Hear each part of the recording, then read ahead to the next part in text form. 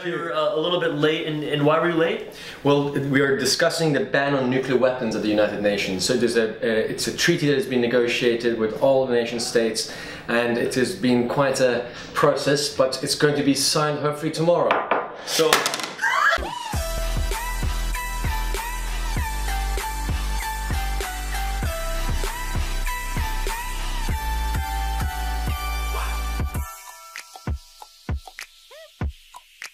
Guys, I'm really excited not only because we're here with the esteemed Emad Kiyaei, but today's the first day with the boom mic and the new mic, like and you're on air, brother. Oh boy. I know that we're like tight on time and I want to respect your schedule, but here's the thing. We want to know a little bit about, you know, we, we here at A Life in Shorts are very interested in nation branding and, and all the cool things that are happening around the world that the that maybe the media isn't talking about as much.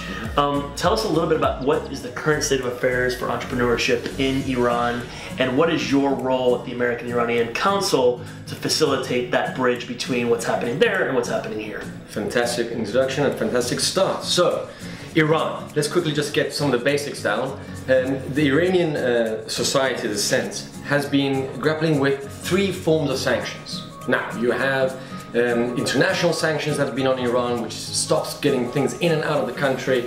That's mostly over its nuclear program. Number two is also internal sanctions by the government by filtering or censoring information flow uh, to its society.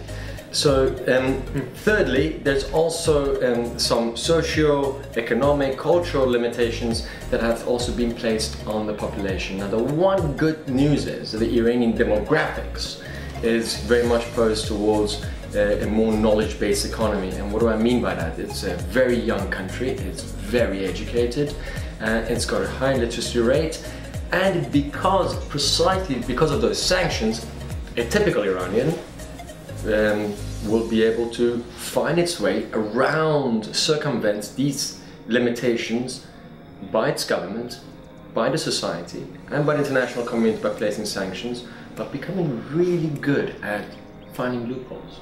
Okay. So, take that, add a very robust STEM education, which is science, technology, and, and, and Education. education Yeah. and mathematics, Yep.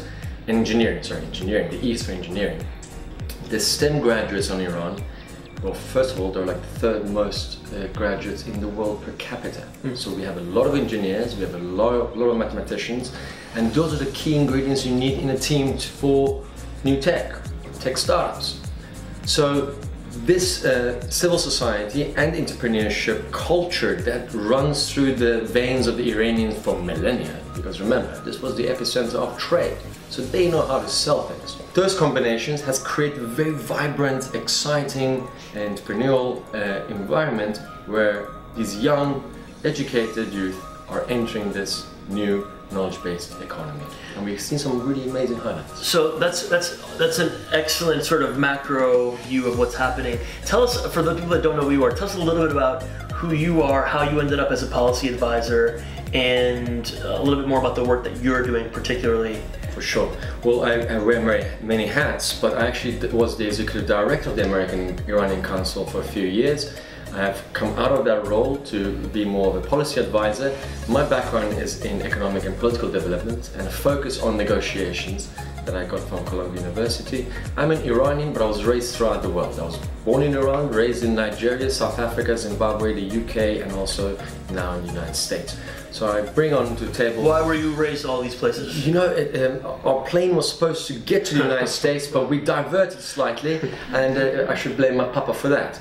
Um, but it's been a very enriching experience, and uh, has allowed me to have uh, access to multiple cultures and backgrounds, and make me more worldly. So this was like before they used to say like this plane is going to New Orleans. if you don't want to be going to New Orleans, get off the plane I mean, right we now. were trying to get to LA, but it became Lagos, which Yeah. is Nigeria. Sort of- was just a diversion. sort of the same. But it was uh, fascinating, and uh, well, that's my background. I've worked a lot on the nuclear negotiations between the world powers and Iran uh, from a more civil society uh, perspective. I've also done my research at Princeton University on nuclear matters and weapons of mass destruction, non-proliferation. So this is how we want to get rid of these Yeah. deadly uh, weapons. At the same time, I'm also fascinated about the tech startup scene and technology and the role of technology not just to make our lives better, but also what role does it play in diplomacy, in economic vitality, and also to bring about a shift from you know the center of government to the populace using technology to get their voices out and get their products out. So Emad, tell tell us one or two or three technologies that you're most excited about right now um, around those sort of three different buckets of well, personally, objectives. personally for me, because I also worked a lot on sanctions, what was fascinating for me to, do was to see how did the Iranian public circumvent these sanctions, and one of them was financial sanctions. So cryptocurrency is very much a, a, a topic that I'm really interested in, first and foremost. Secondly, finding avenues on how we can take existing new techs that have actually reached a mature stage in the market and how we can then adjust it to uh, another market like Iran because it's an emerging market in a sense. And finally, uh, what I'm really interested in is how do we broaden the platform where there's a knowledge transfer between uh, communities of um, tech scene, may that be the Iranian diaspora in Los Angeles or in in Silicon Valley or elsewhere, and how can we can bridge to then assist these sort of new uh, markets uh, in new technology to develop. So this is sort of like a transfer of knowledge, skills, and also mentorship. How how open is Iran to external entrepreneurship in the country? Very much supportive. Now, Yeah. is it easy to get into Iran? No. Because of the, all the regulations. all of those regulations, especially for Americans, because uh, the rest of the world has removed their sanctions to, to a large extent. And there's, I mean, uh, I was in Iran and I, we couldn't even uh, stay in a hotel because there's so many delegations coming from Europe and Asia to get into literally the last frontier in an emerging market.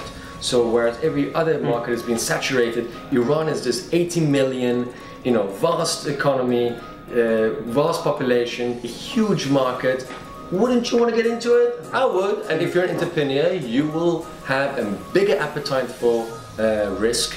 And if you see that your product, your service has a, a nuanced place in the Iranian market, there are ways to get it. Now, let me put it in a caveat that there are uh, US sanctions still in place on Iran. So you have to be very careful. I'm not saying just jump into Yep. the Iranian market. There are exemptions to the rule and those can be identified. But um, as my lawyer would tell me right now, please consult your lawyer before you make any other moves. Fantastic. I think that you've given us a couple of really amazing uh, tips as well as resources that people can contact.